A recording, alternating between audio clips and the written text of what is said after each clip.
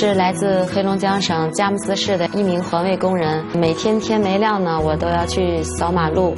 身边的有很多朋友都问我，你为什么这样年轻就会做一个扫马路的工作？其实我心底一直有一个遗憾。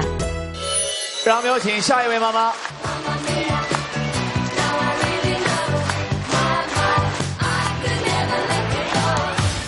你好，欢迎这位妈来到妈妈咪呀的舞台。老师好，好大家好。呃请做一下自我介绍。我叫王谦，来自黑龙江省佳木斯市的一名环卫工人。环卫工人还是在环卫系统管环卫工人？我是环卫工人，就是一线工人扫马路的。挺让我吃惊的啊！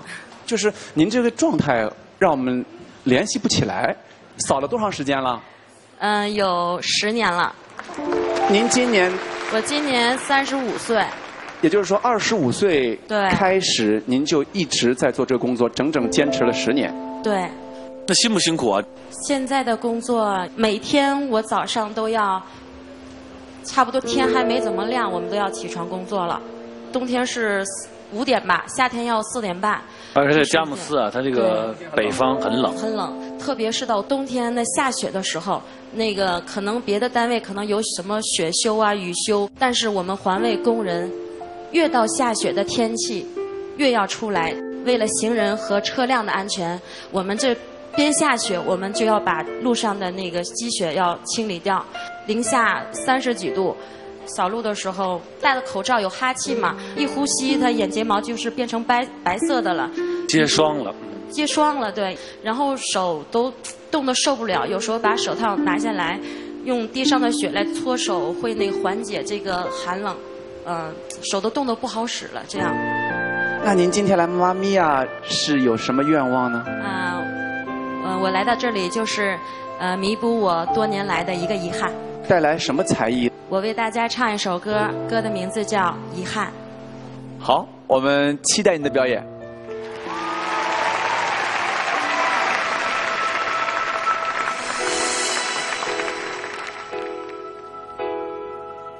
别再说是谁的错，让一切成灰。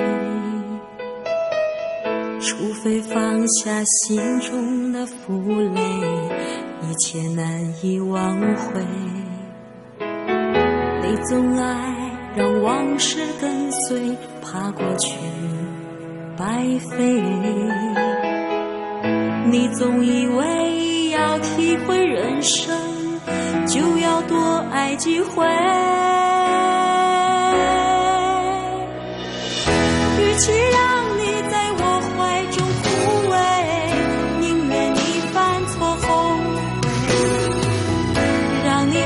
像梦中的世界，留我独自伤悲。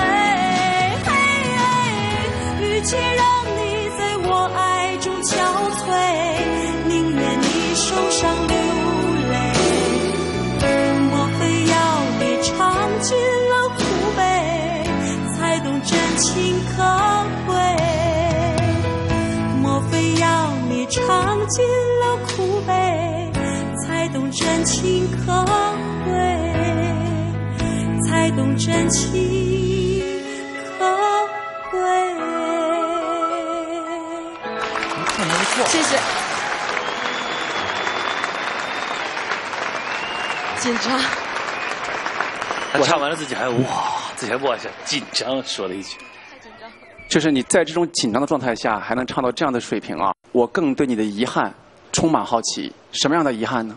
嗯，以前在毕业的时候，我考入了我们当地的歌舞团，因为那个时候我的家境不是特别好，然后毕业了又不是能分配工作，然后妈妈说那就不要去了。然后我现在提到这个事情，我和妈妈都不做声了，都是默默的心里在想，哦，可惜有这个遗憾吧。那是多多大的时候？那个时候是十九岁吧。因为有这样的遗憾，是不是对现在的这个工作或者每天的生活不太满意？没有没有，因为这个工作来之不易，然后他还有稳定的收入吧，能给我和女儿稳稳的生活，稳稳的幸福。为什么是你说你跟你女儿呢？老公呢？啊、我离异已经现在七年了。哦嗯，那现在的收入家庭可以稳定，嗯，对，每个月工资两千多，啊是在当地来说是正常的收入。就是在佳木斯市。对，是正常的收入。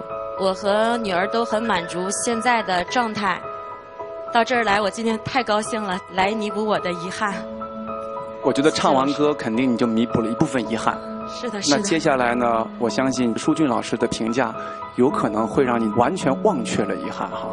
王谦，我不会觉得你现在的人生有什么样特别的缺憾，心中永远怀抱的一个未完成的梦想，反倒是你继续往前走的一个很重要的动力。所以要肯定你的歌艺，也要肯定你的人生。通过。谢谢老师。王谦啊，当初的选择没有完成，是考虑到家里的经济条件，之后又继续在这个岗位上工作，为了自己的女儿去多赚一份钱，让家庭稳定。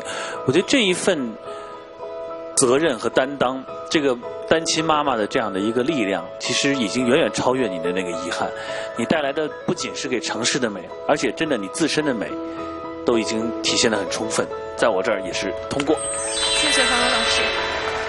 每一个人都有遗憾，那啊、我希望你可以把你的遗憾变成开心快乐。我就是这样，虽然我是离婚，我是单身妈妈，我都跟我家人啊，或者是我的粉丝们说，我是全世界最幸福的离婚单身的妈妈。嗯，因为离婚不是一件好的事情，但是如果你换一个角角度，那你就可以变成一个很开心的一个生活，然后跟小孩也可以很快很开心当一个好妈妈。谢谢老师，谢谢你，我们的美容师。谢谢老师。恭喜你，王谦。